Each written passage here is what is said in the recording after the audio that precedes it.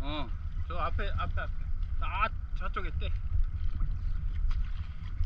머리만 보여, 머리만. 우후!